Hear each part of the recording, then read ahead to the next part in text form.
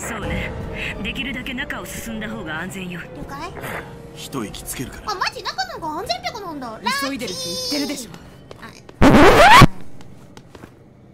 お前がさっさと話せばいい話ぴょこだろ。お前が教会に行かないと話さねえって言うからぴょこちゃんついてきてやったんだろお前。おい。本当だったらお前ここで処されてるかもしれねえぴょこなの。気をつける今ピリピリしてるぞ。死んでる。